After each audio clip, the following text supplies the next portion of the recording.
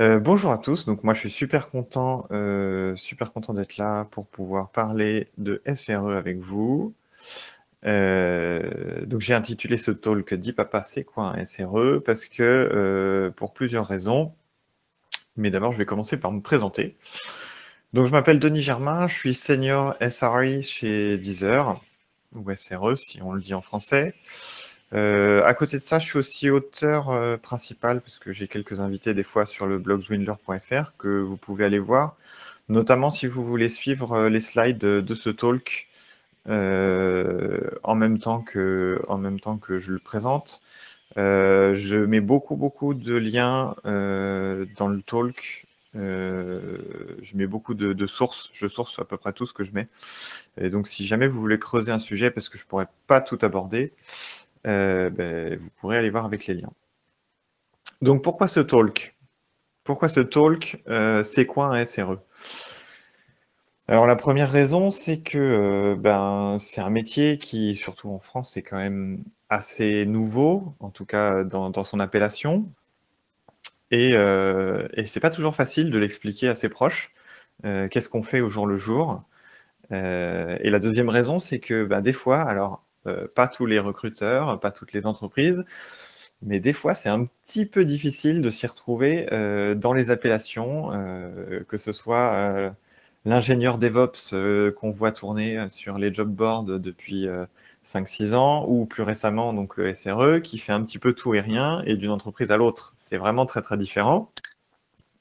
Et pour pas qu'on tombe dans le travers un petit peu de cet ingénieur DevOps qui peut, faire, qui peut vouloir tout et rien dire et, qui peut parfois provoquer de mauvaises surprises en entretien, ce qui m'est arrivé. Eh ben, j'avais envie de définir un petit peu ma vision de ce que moi je pense être le SRE, euh, qui est bien sûr totalement personnel, mais euh, je vais quand même me baser sur euh, bah, les fondamentaux que vous connaissez peut-être, un petit peu d'historique avant, et, après on finira par ma vision du SRE et comment on fait pour y arriver. Euh, je vous ai mis aussi en image cette petite, euh, cette petite capture d'écran du blog du modérateur qui, vantait une formation pour se transformer en ingénieur Java Full Stack DevOps. Euh, et ça m'avait fait beaucoup rire parce qu'on était bien dans le bullshit bingo avec la totalité des mots-clés. Et donc voilà, c'est ce que j'aimerais qu'on évite avec le terme SRE. Ok. Euh, ouais, je vous ai mis aussi cette petite image humoristique que j'aime beaucoup de Simpson Against DevOps, euh, qui dit, euh, qui, à mon avis, même si c'est très provocateur, se, rapproche beaucoup plus de la réalité de ce qu'est un, SRE aujourd'hui. Donc c'est le petit personnage que je ne connais pas dans les Simpsons, qui dit que son grand jeu, en fait, c'est de casser la prod le plus de fois possible dans une journée et le lendemain d'essayer de battre ce record. Et vous verrez que c'est pas si loin que ça de la réalité. Mais donc, comme promis, euh, petit retour euh, rapide euh, aux, fondamentaux. historiquement, dans une entreprise lambda, on avait en fait un conflit d'intérêts entre Dave, le dev, et Roy Lops. les deux, sont très copains dans la vie. le gros problème qu'ils ont, c'est que dans le travail, euh, ils ont tous les deux des responsabilités différentes. Le dev, lui, il veut pousser le plus vite possible ses features qu'il a développées en prod, alors que l'Ops, qui a la responsabilité de la stabilité de la plateforme, lui, euh, veut qu'il y ait le moins d'entropie possible, puisque l'entropie est génératrice souvent d'erreurs, et il va donc, euh, il va donc essayer de, bah, de, de, débrouiller pour que bah, pour, pour, que ce soit pour que pour qu'il y ait le moins de changements possible et que tout soit le plus stable possible. Ça, c'est parfait. Euh, donc, en fait, ça, ce, ce, concept-là, cette, façon de, de, voir les choses, d'expliquer les, relations, les relations et les jeux de pouvoir un petit peu dans les entreprises, euh, ça a été théorisé euh, dans le courant DevOps, que je vais présenter juste après, et ça s'appelle le mur de la confusion, et on y reviendra. Donc, qu'est-ce que c'est que DevOps? Euh, DevOps, donc c'est un, bah, un, courant de pensée en gros qui, a débarqué à peu près dans les années 2007-2008, euh, qui a été théorisé par un Belge, je crois, pas très loin de Lille, c'est bien. Euh, qui prône donc l'amélioration continue dans l'informatique par des cycles courts, et donc des déploiements réguliers, des déploiements testés, des déploiements automatisés, et une surveillance de l'exploitation et de la qualité. Et donc tout ça rassemblé dans une espèce de grand cycle donc court, d'où cette espèce de de petits symboles infinis euh, ayant pour but donc de, briser les silos et d'en finir avec ce fameux mur de la confusion, euh, notamment, euh, que je vous présentais juste avant. Alors, il y a des gens très sérieux qui se sont penchés sur DevOps, parce que bon, ben, vous êtes sûrement d'accord qu'on en parle depuis un moment. Et donc, donc, il y a Google qui a sorti un programme de recherche qui s'appelle DORA, que je vous invite à regarder, DevOps Research and Assessment, qui est assez rigolo quand on a une petite fille comme moi, qui euh, rassemble euh, des études sur 32 000 professionnels, euh, qui s'étend sur 7 ans. Donc le premier rapport date de 2014, il y en a un chaque année, et au fur et à mesure, il l'améliore. Et ce rapport ou ces études, elle essaye de, donc de, prendre parmi tous ces professionnels, de déterminer qui sont les meilleurs performers, et euh, de trouver ce qui les rassemble en fait. Euh, quelles pratiques, quelle, pratique du DevOps, euh, quelles pratiques de l'informatique en général et de la culture d'entreprise font que ces entreprises réussissent mieux que les autres. Et je vais schématiser, mais en gros, il y a deux grosses catégories qui ressortent. La première, c'est le fait que donc les entreprises sont catégorisées par rapport donc à leur performance à livrer efficacement des logiciels ou des améliorations à leur logiciel. Et ils ont, euh, ils ont, ils ont, appelé ça en fait euh, les four key metrics. Ils, ont, ils en ont rajouté une dans le rapport de cette année, si vous l'avez lu, qui sont le lead time, le mean time to restore, le change failure percentage, et le deployment frequency, et plus récemment donc le reliability. Lead time, c'est le temps qu'il faut pour pousser des, nouvelles features en prod. Mean time to restore, c'est au cas où il y a un incident, combien de temps on met pour rollback et restaurer le service. Change fail percentage, comme son nom l'indique, c'est euh, le, taux de le taux d'échec quand on fait des nouvelles euh, des nouvelles fonctionnalités et deployment frequency, c'est pareil, ça parle de lui-même. Si vous voulez un peu vous tester par rapport, donc savoir si vous êtes élite, euh, high performer ou low performer, il y a un quick check qui se fait en deux minutes sur le site de Dora. Et le deuxième gros, gros, gros point qui est mis en avant par Dora et et qui est totalement ancré dans la philosophie DevOps, mais qui n'est pas forcément euh, mis en avant quand on parle de DevOps, qui est un peu oublié souvent, je trouve. C'est la culture d'entreprise. Et euh, Dora insiste beaucoup dessus. Euh, les entreprises qui performent sont celles qui véhiculent vraiment bah, une culture très ouverte, en fait, aussi bien pour l'information, donc euh, aussi bien ascendante que descendante, c'est-à-dire que les informations du terrain remontent au top management sans être, euh, bloquées euh, par, des intermédiaires, et inversement, les, décisions du top management descendent et sont bien comprises. Ces mêmes entreprises sont celles qui ont une culture de l'apprentissage, donc de diffuser la connaissance entre les pairs et ne, pas avoir des centres d'excellence, ce qui est contre-productif. Euh, et, une culture de la confiance. Alors, euh, culture de la confiance, c'est un petit peu euh, vague comme terme, mais ce qu'il faut comprendre, c'est que quand il y a quelqu'un qui va remonter un problème ou qui va, ou qui va y avoir un incident, on va pas essayer de chercher des coupables et on va, on va essayer de mettre en place une sécurité psychologique entre les, entre les collaborateurs, les individual contributors, de manière à ce que les gens puissent innover sans avoir peur de se bah, de se prendre le retour de bâton, quoi, tout simplement.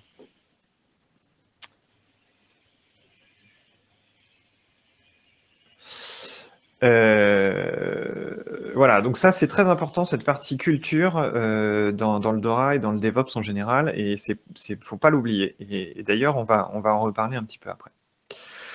Donc ça, euh, ça c'est très bien, le DevOps. Euh, ça nous a donné une vague de postes d'ingénieurs DevOps depuis 2015, en veux-tu, en voilà, qui, comme je le disais, veulent pas toujours dire la même chose, même souvent c'est très différent d'une boîte à l'autre. Et eux, Google, à partir de ça, eux, ils ont voulu créer un nouveau type de poste qui s'appelait les SRE.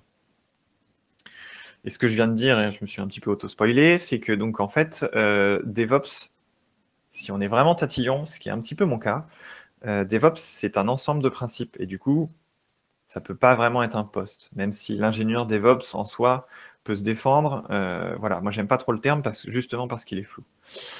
Et donc, je vous l'ai expliqué, on peut en fait simplifier DevOps en deux sujets majeurs qui sont l'outillage pour permettre l'efficacité euh, bah, de, l'usine logicielle et, du déploiement de logiciels. Et d'un autre côté, euh, donc la culture d'entreprise et un petit peu aussi l'agilité. Euh, c'est quand on fait du DevOps, on est souvent dans des contextes agiles. Voilà. Et donc, euh, chez Google, ils avaient besoin de, gens pour euh, gérer de, manière efficace euh, ben, leur site.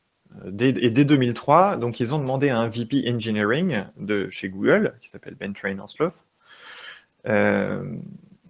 et ce Ben Trainer-Sloth, ce qu'il y a, c'est qu'en fait, c'était ben, un ingénieur logiciel. Il n'était pas du tout dans le monde de l'infrastructure et on lui a demandé de maintenir une infrastructure, de designer une, une team pour gérer l'infrastructure et qu'est-ce qu'il a fait? Il a pris un petit peu le contre-pied de, tous les autres. On en, parle dans le SRE Book, qui est le bouquin qu'a sorti Google en 2016 euh, pour, euh, pour, un petit peu populariser euh, leur vision de leur, vision de de d'ingénieurs. Et donc voilà, donc ce Bain Trainer Sloss, on lui a demandé de, créer une operation team, et qu'est-ce qu'il a décidé?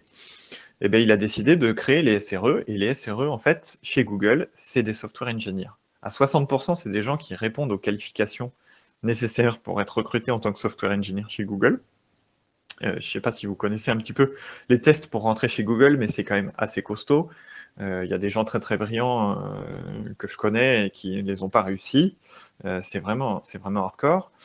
Et d'un autre côté, bah, c'est des ingénieurs qui sont pas loin d'avoir les qualifications pour être Google Software Engineer, mais qui en plus ont euh, des, euh, des compétences rares qu'on ne trouve pas souvent dans, chez les développeurs logiciels, comme euh, c'est des gens qui connaissent le kernel Linux sur le bout des doigts, ou la stack TCP/IP du kernel Linux, enfin des, choses, des choses hyper pointues.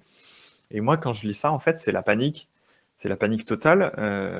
il y a un an et demi, quand j'ai postulé pour l'offre SRE chez Deezer, parce que bah, je ne suis pas vraiment du niveau d'un software engineer chez Google.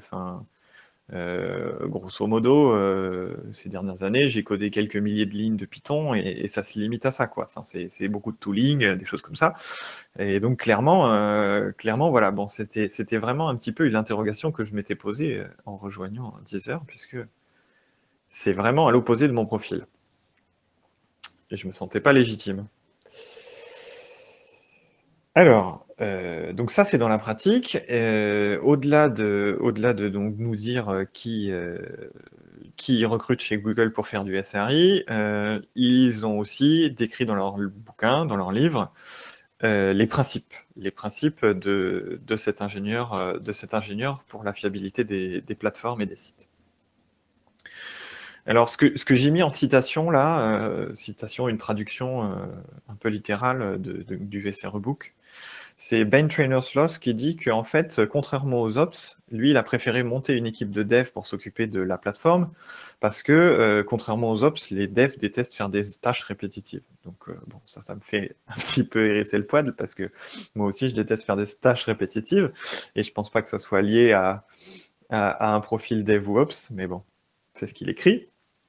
Et donc, euh, il définit le toil comme le travail qui peut être, alors ça n'a pas besoin d'être la totalité de ce que j'écris en dessous, mais c'est un travail qui va être manuel ou répétitif ou automatisable ou sans valeur ajoutée ou qui augmente linéairement avec la capacité. Et ça peut être un mélange de, ces choses-là. Et euh, l'ennemi numéro un du SRE, ça va être donc d'éliminer à tout prix ce toil, ce travail manuel et sans valeur ajoutée, et ce travail surtout qui augmente linéairement avec la capacité. Ce qu'on veut dire par là, c'est que euh, moi, si demain on me demande de gérer 1000 serveurs et que j'ai besoin d'une team de 10 personnes pour le faire, si après-demain j'ai 2000 serveurs à gérer, il ne faut pas que j'ai besoin de 10 personnes de plus. Il ne faut pas que j'ai besoin de deux fois plus de personnes. C'est pas possible. C'est pas possible. Euh, c'est pas possible parce que c'est pas scalable, tout simplement. Euh, il n'y a pas de raison qu'on ait besoin d'autant d'ops pour gérer x2 en termes de capacité. Euh, le problème du toil aussi, c'est que comme c'est du travail à faible valeur ajoutée, ben, ça réduit le moral des équipes. Euh, on rentre dans un cercle vicieux. Euh, donc voilà, il y a plein de choses qui font que le toil, c'est quelque chose de mauvais et qu'on veut voir disparaître. Et donc, du coup, une grosse partie du temps de travail d'un SRE, ça va être de trouver comment réduire ce fameux toil. Comment on va le faire? On va le faire en automatisant les fameuses tâches répétitives et sans valeur ajoutée. Quand ce n'est pas possible ou quand il y a des actions un petit peu complexes, on va développer du tooling en interne pour automatiser des tâches euh, business. Euh, voilà. On va documenter. Euh, donc documenter, c'est vraiment quelque chose de super important et qui n'est pas forcément en phase avec les principes agiles d'ailleurs. On va vraiment tout documenter. On va documenter pour faciliter l'exploitation, parce que si jamais tout le monde est capable de réaliser des tâches rapidement, eh ben, du coup, on passe moins de temps à faire les, tâches en question. On va documenter pour l'astreinte, parce que la nuit, quand on n'allait pas les yeux en face des trous, euh, si les ingénieurs n'ont pas de la documentation de qualité, ils vont passer beaucoup de temps à essayer de résoudre les incidents, pour rien. Parce que le toil, les incidents en astreinte ou les incidents tout court, c'est aussi du toil. Et au final, on va corriger les problèmes de fiabilité euh, post-incident euh, de manière à ce que la plateforme soit plus fiable, puisque reliability, c'est quand même dans notre titre. Je vous ai mis euh, une petite image de XKCD que j'adore particulièrement, qui montre combien de temps on peut gagner en automatisant une routine qu'on fait par exemple, qui dure 5 minutes et qu'on fait toutes les semaines. Combien de temps vous pouvez prendre pour l'automatiser et à partir de quand ça devient rentable? C'est très, très sympa. Le deuxième grand gros principe de SRE que, que j'aime beaucoup particulièrement, c'est qu'il faut accepter que euh, ben, dans l'informatique, euh, comme dans partout, le risque zéro n'existe pas. Alors, il ne faut pas dire ça pour se dédouaner de quand il y a un incident, mais il faut partir du principe que vous pourrez donner le meilleur de vous-même, vous pourrez vous donner à fond, vous pourrez essayer de tout sécuriser, il y aura forcément un truc qui va casser.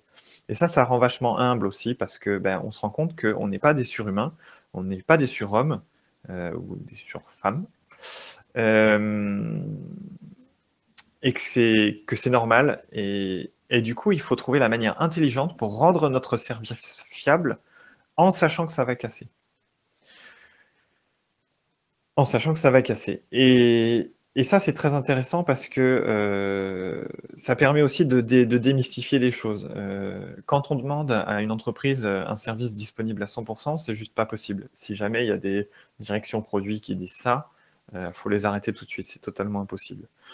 La deuxième chose qu'il faut savoir et qu'il faut se rappeler, c'est que plus on va ajouter de 9, donc 3,9, 4,9, 5,9, 5,9 et demi, plus c'est cher. Et c'est pas cher linéairement, c'est cher exponentiellement. C'est-à-dire que plus vous allez vouloir que votre application soit fiable, plus ça va vous coûter cher, parce que vous allez devoir ajouter des mécanismes de redondance qui eux-mêmes vont devoir être redondés, vous allez devoir rajouter des gens pour les administrer, ça va devenir un sac de nouilles pas possible, et ça va devenir très compliqué à administrer.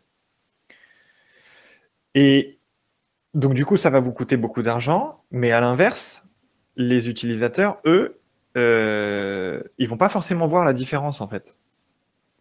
Et c'est ça qui est, gênant, parce que euh, parce qu'en fait, euh, ben, vous allez perdre beaucoup d'argent à essayer de, sécuriser votre plateforme d'un côté, et, de l'autre, ben, tout ce temps que vous passez à le à, le perdre, à sécuriser, en fait, c'est pas de l'argent que vous gagnez. Parce que les utilisateurs finaux, eux, ben, de temps en temps, ils ont une coupure Internet, ils ont leur smartphone qui s'éteint, et en fait, ils vont plus voir la différence entre une coupure de votre site web, par exemple, si c'est un site web, ou euh, une, ben, euh, un, incident chez eux. Et c'est même contre-productif.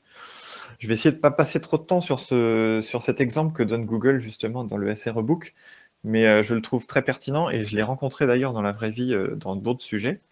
Euh, donc Google, ils avaient un, service qui s'appelle le Chubby, le Chubby, Chubby, qui est en fait un, lock distribué pour plusieurs outils. Et il était tellement fiable, ils avaient réussi à le rendre tellement fiable que en fait les gens se sont mis à penser, à assumer que ce service ne tomberait jamais en panne.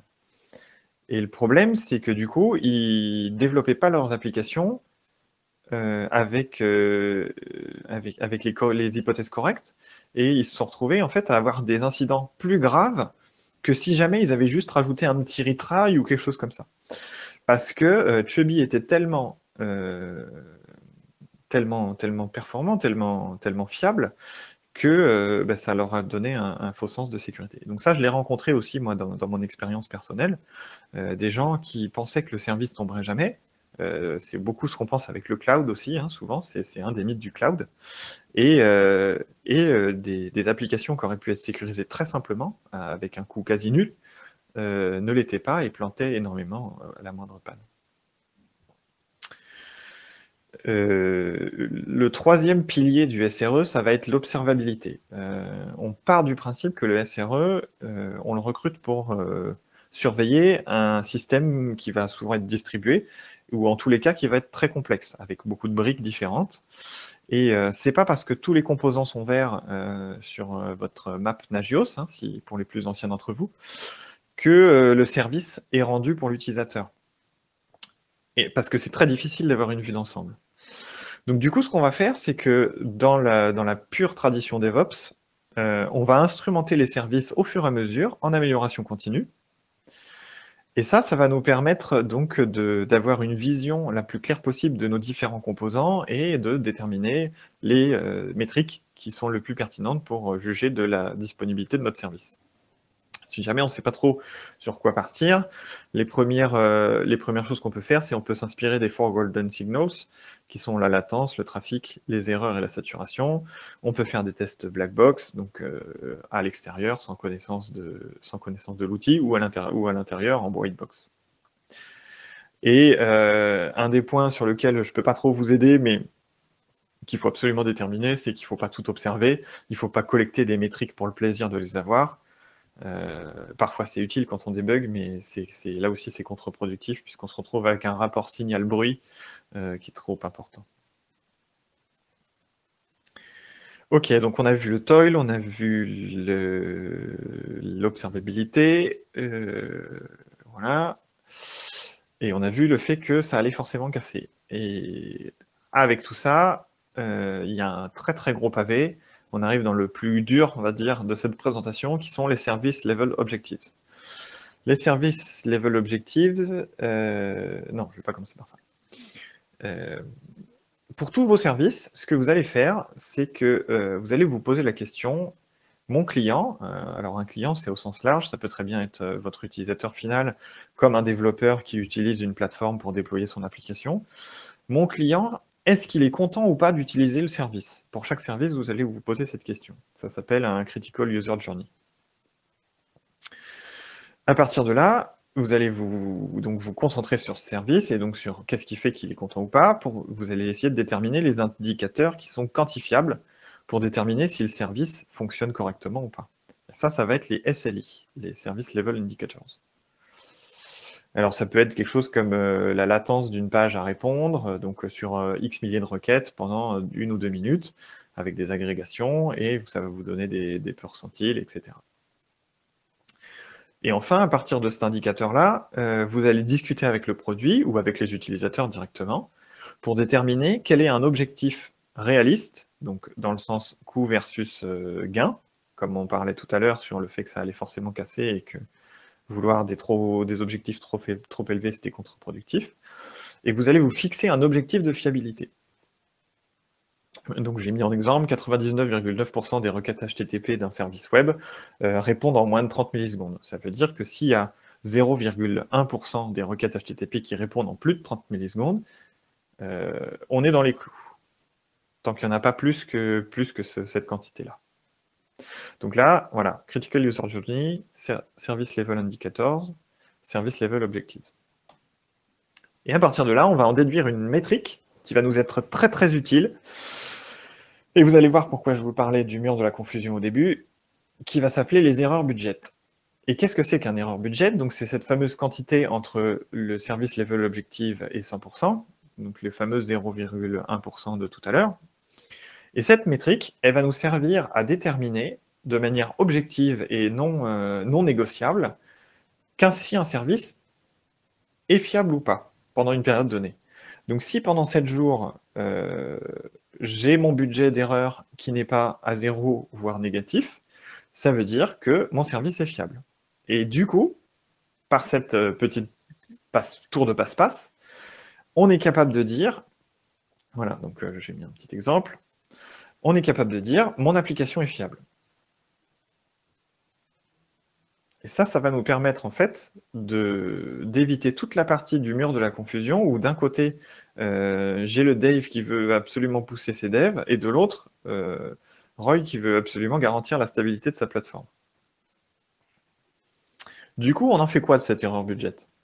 On pourrait se dire que euh, ben, on veut que notre appli soit le plus disponible possible et du coup, on ne le consomme pas et il ne faut surtout pas qu'il diminue. Et en fait, non. Contre-intuitivement, il faut l'utiliser.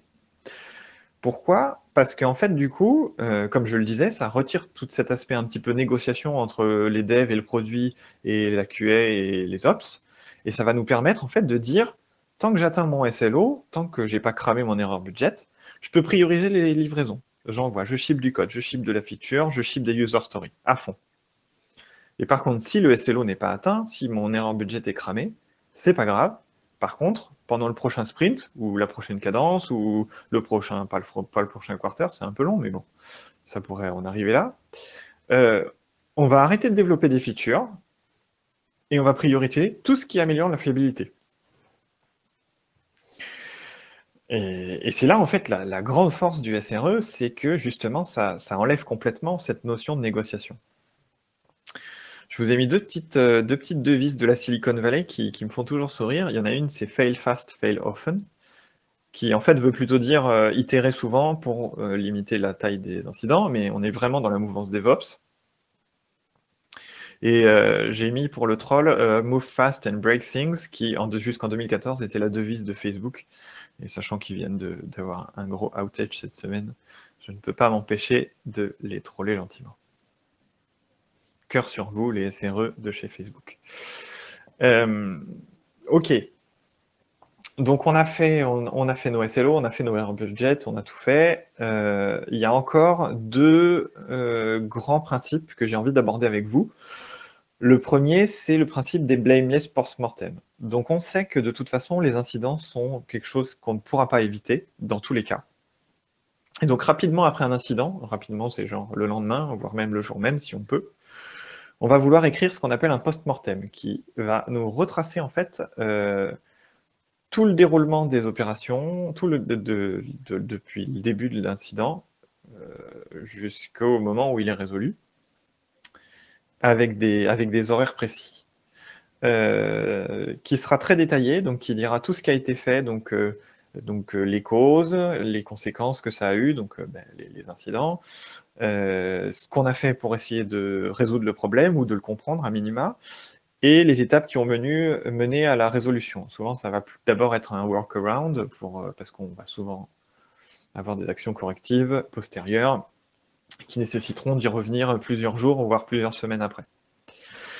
Euh, donc ça, c'est le post-mortem. Et ce qui est très très important quand on fait des post-mortem, et j'en parlais, on, retrouve là aussi donc, des grands principes de DevOps, c'est qu'il faut qu'il soit blameless. Il faut absolument que euh, à aucun moment on dise tel ingénieur a fait une erreur, ça a provoqué tel incident, ça nous a coûté X millions d'euros. La partie qu'il faut absolument enlever, c'est tel ingénieur a fait une erreur, donc. C'est pas parce qu'un ingénieur a fait une erreur, ce qui peut arriver, voire même ça peut être euh, volontaire ou, malveillant, mais il ne faut pas oublier que dans, un système, dans un système complexe, dans un système distribué, euh, si jamais une seule personne a pu faire une erreur, il y a un problème en fait. Il y a un problème dans le process. Une, seule personne ne devrait pas être capable de faire tomber toute l'entreprise, ou le logiciel, ou ceci ou cela. Euh, que ce soit par malice ou pas d'ailleurs.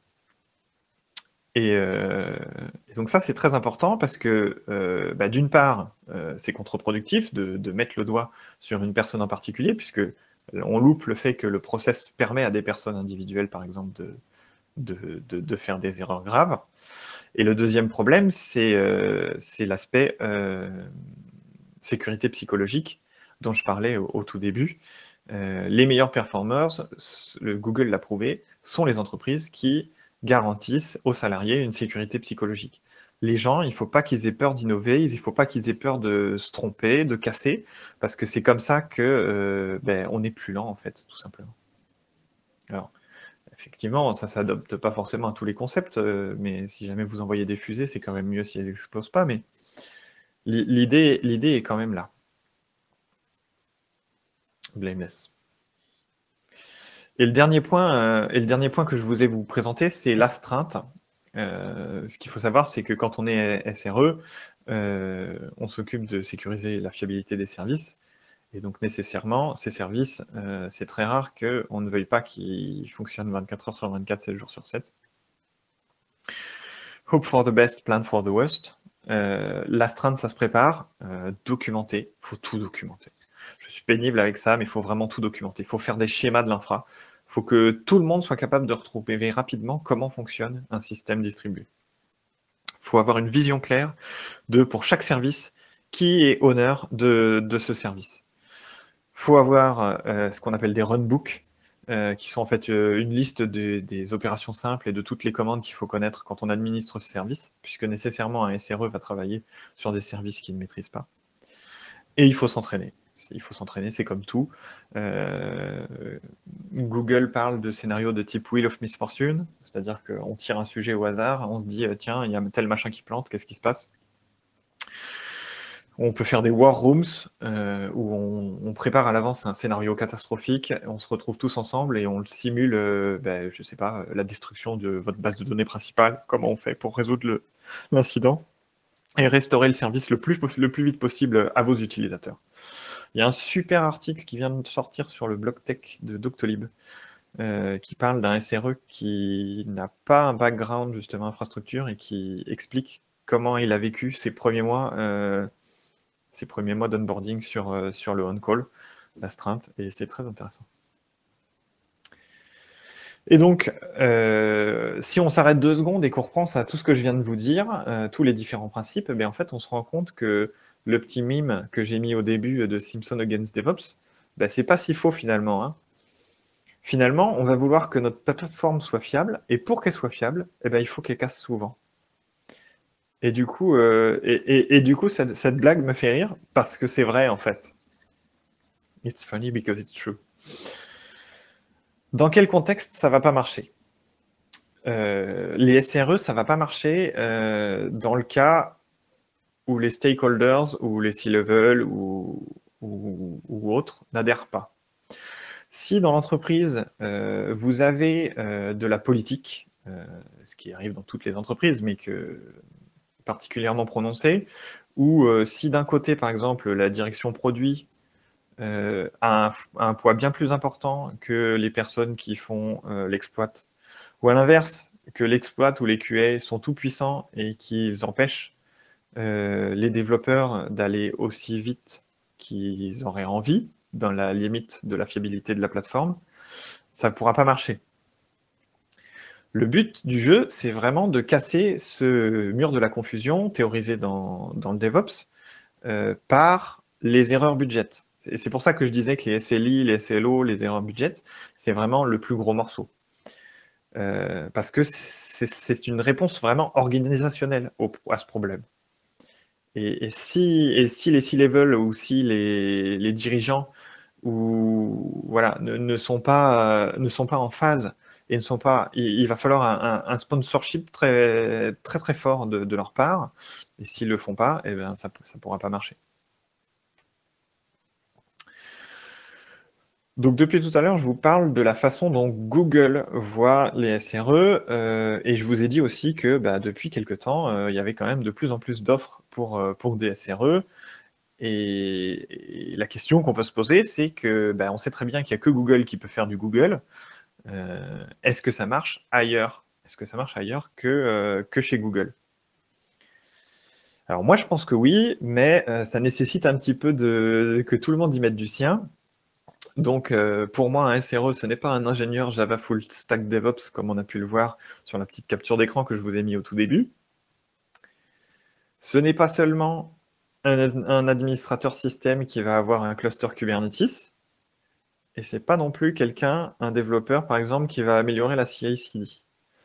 Toutes ces choses-là, en fait, ce n'est pas juste. Euh, pourquoi je dis que c'est pas des SRE, c'est parce que là, on est quand même encore très orienté outils, outillage. Euh, Kubernetes, voilà, c'est un, outil de plateforme de conteneurs as a service. Euh, le dev qui fait de la CI/CD, bah, c'est pareil, c'est de l'outillage. on, va quand même plus loin. Du coup, euh, j'ai trouvé assez intéressant. Alors, le problème, c'est que c'est quand même des boîtes qui sont aux US, mais c'est quand même plus proche de la vraie vie qu'un Google.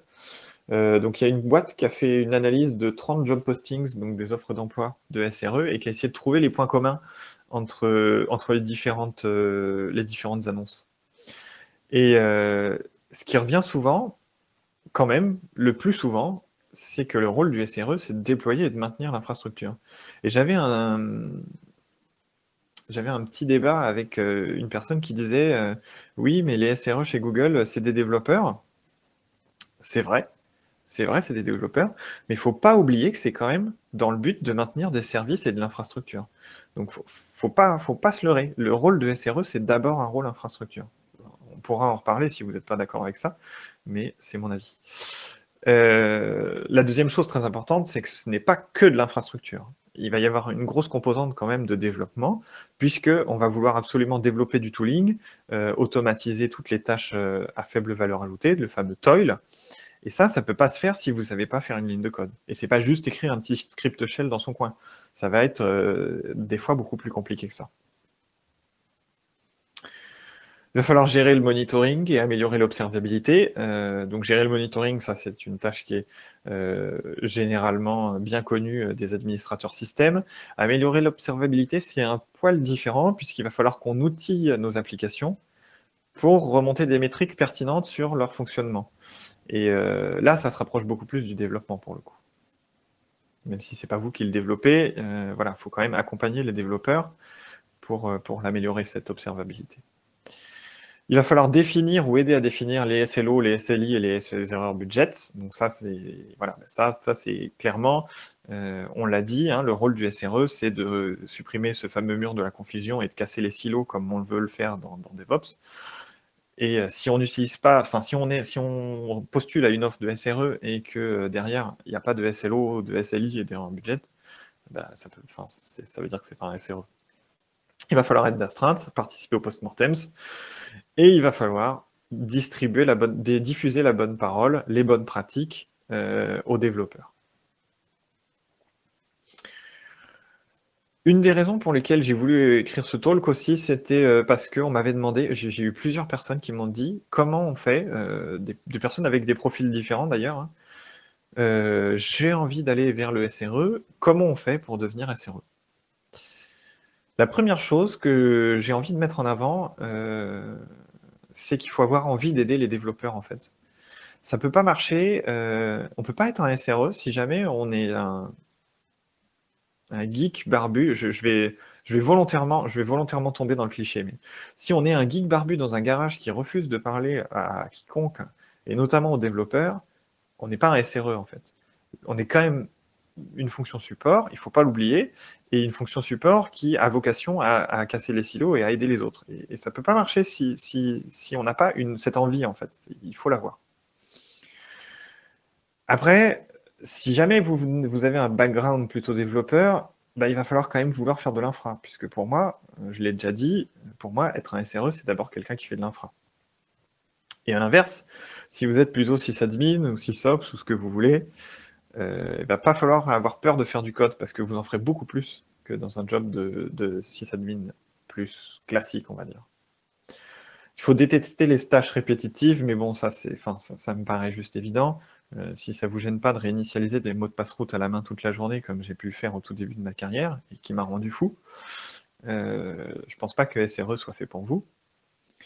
Et un point qui peut éventuellement se, se défendre ou pas, euh, c'est que je pense qu'il faut quand même avoir une connaissance minimum du cloud en général, de ce qu'on peut faire dans le cloud et de l'outillage cloud native en général, parce que c'est des outils qu'on va retrouver très très souvent dans les contextes SRE puisqu'ils répondent totalement aux besoins, euh, des, entreprises qui, adoptent de, ce genre de mindset. Et quelles sont les qualités pour devenir un SRE Donc là, ça c'est très probablement la slide, la plus euh, subjective, opinionated de tout ce talk. Euh, donc pour moi, c'est quelqu'un qui doit absolument être hyper curieux, qui veut absolument apprendre, qui veut découvrir des nouvelles choses tous les jours. C'est aussi quelqu'un qui aime transmettre. J'ai quand même, je pense, pas mal insisté là-dessus. c'est quelqu'un qui va être tenace, voire un peu obstiné, mais pas trop. Euh, le but du jeu, quand même, c'est quand vous avez un incident, c'est que vous voulez surtout pas qu'il se reproduise. Et pour ça, il faut que vous compreniez comment marchent les systèmes que vous administrez et pourquoi l'incident a eu lieu. Et si vous avez juste euh, pas envie de vous prendre la tête et que vous rebootez le serveur, comme j'ai pu le faire euh, par le passé dans d'autres entreprises, euh, en se disant que de toute façon, 80% du cas, ça, résout le problème, ben oui, ça résout le problème, mais sauf que l'incident, il va revenir. Donc, à un moment donné, il faut quand même aller digue, il faut mettre les mains dans le cambouis et comprendre pourquoi ça marche pas, jusqu'à trouver. Tout en restant réaliste, c'est pour ça que j'ai dit obstiné, mais pas trop.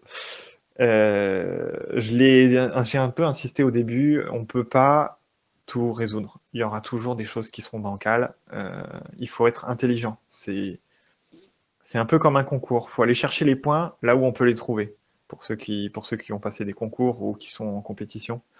Euh, il y a vraiment ce mindset-là où il faut être malin. Il faut trouver les choses qui vont vous rapporter beaucoup en peu de temps et, les choses qui sont vraiment prioritaires. Il ne faut pas s'attarder sur euh, donner le dernier petit coup de tournevis qui va faire que l'infra sera parfaite, puisque l'infra ne sera pas parfaite. Et dernier point, il faut faire preuve d'empathie. Euh, ça rejoint un petit peu le aimer transmettre. Euh, on est là pour diffuser la bonne parole, on est là pour diffuser les bonnes pratiques, on est là pour aider les autres. Et euh, pour aider les autres, il faut d'abord le comprendre, l'autre. Maintenant, vous savez ce qu'est un SRE. La petite conclusion qui va bien, c'est que c'est donc un métier inventé par Google, qui est très proche de la philosophie DevOps, même s'il s'en écarte un petit peu. Euh, qui, est, applicable pas seulement chez Google, euh, mais il faut que le top management s'implique. Et euh, s'il vous plaît, entreprises et recruteurs, essayez de détailler le plus possible ce que vous attendez d'un SRE dans une annonce pour pas vous retrouver avec des gens qui ne fit pas du tout, puisque ça fait perdre du temps à tout le monde. D'ailleurs, je cherche des collègues, si jamais vous voulez, on peut en parler après. Et c'est tout pour moi.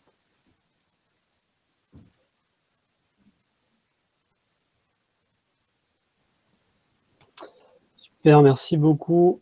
Merci Denis. Alors il y a, il y a eu l'activité dans le chat il y a quelques questions quand même. Si, si tu... Yes, ouais, ouais, bien sûr. Alors, va essayer de. Alors, ouais, oui, ça a pas mal, ça a pas mal causé, je vois. Bah c'est cool, c'est bien.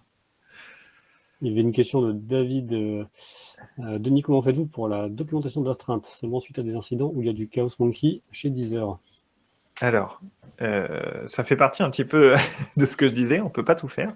On n'a pas assez de temps dans une journée. Donc euh, aujourd'hui, on n'a pas de Chaos Monkey, mais clairement, c'est quelque chose qu'on sait qu'on veut faire. Justement, ça rejoint vraiment le, le, fail fast, fail often aussi. Euh, et le fait qu'on ait envie de casser la prod régulièrement, justement, pour éviter que, bah, que ça pose problème. la documentation aujourd'hui, on l'a fait à deux moments. On l'a fait quand on déploie un service euh, un service, il est validé que quand il est totalement documenté. Ça passe d'abord par une architecture review. Et dans l'architecture review, on, demande le lien de la doc et les gens vont vérifier que la doc correspond aussi bien pour euh, donc, ben, les schémas d'infrastructure dont je parlais euh, que, que, les commandes de base, donc le runbook. Et après, effectivement, un incident, bah, c'est de l'amélioration continue. Donc, quand il y a un incident, euh, on fait le post-mortem. Et souvent, des actions, ça va être bah, améliorer aussi la documentation quand il y a des choses qui ne sont pas connues, euh, etc., pour, pour éviter de, de, perdre du temps euh, la prochaine fois qu'il y a de l'investigation. Super. il y avait Michael qui a une question. c'est sur le rapport au métier de SRE et de mmh. dev. Enfin, en gros, ne crois-tu pas que Google a pris euh, des devs qui la transforment en SRE, car Google est une boîte de dev, une boîte d'ops aurait peut-être pris des ops pour en faire des SRE. ouais, peut-être, ouais, c'est pas bête. Euh, je l'avais pas forcément pensé comme ça. Euh, en tout cas, eux, comment, ils le présentent, Google, dans leur SRE book, c'est dans ce sens-là. C'est-à-dire qu'ils ils ont vraiment pensé que le sysadmin, entre guillemets, de base, quand il y a un incident, il reboot la machine, ce qui n'est pas forcément totalement faux. Hein. Dans certains contextes, c'est vrai que ça peut arriver. Euh, c'est pas un mythe. Et, voilà, donc eux le présentent comme ça. Après, oui, euh, peut-être que peut-être peut-être qu'une autre boîte qui, qui, aurait été plus proche donc de l'administration. De toute façon, c'est un petit peu le cas. Hein. Quand on réfléchit, euh, tous les grands infogéreurs, qu'est-ce qu'ils font? Ils développent du tooling interne pour être plus efficace. Euh, voilà. Donc voilà. Effectivement, peut-être peut-être qu'il y a un peu de ça. Peut-être que c'est parce que chez Google, ils ont surtout des ingénieurs logiciels qu'ils ont inventé le rôle comme ça. voilà. C'est pas faux. Il y avait après une discussion sur le, langage préféré des, des SRE, Python. Alors est-ce que Go, euh, surtout par rapport à, Kubernetes, forcément yes. Euh, effectivement, euh, alors moi personnellement, je fais assez peu de Go parce que parce que bah parce que j'écris donc surtout du Python. c'est vrai que n'empêche des fois on, on perd du temps on perd du temps à, faire des choses qui seraient beaucoup plus rapides à faire en Go, justement parce que tout l'écosystème, euh, Kubernetes, Prometheus, euh, tout ce qui tourne autour, en fait, tout ce qui est cloud native, c'est très, très, très, très typé Go. Euh, le souci que j'ai avec Go, c'est que si jamais je me mets au Go et que demain l'écosystème cloud native passe en Rust, bah, c'est du temps que j'ai un peu cramé. Donc voilà. Donc pour l'instant, je reste sur pour l'instant, je reste sur Python. Euh, effectivement, si vous avez aucun langage de prédilection euh, ben, et que vous voulez vous diriger vers du, cloud native, du, DevOps et du SRE, euh, go, go pour le Go, si je peux le dire comme ça. oui, c'est vrai que dans le contexte actuel, oui, ça, va forcément servir. Voilà, ça sera, ça, c'est, le, le, le, meilleur choix. Si, si on part de, de zéro ou, ou qu'on a le temps d'investir dans un langage, clairement, il faut aller d'abord vers Go. Ok, super. Euh, bon, après, je sais pas s'il y a d'autres questions. Non, bon, après, il y a des discussions. Euh, des discussions, euh, voilà.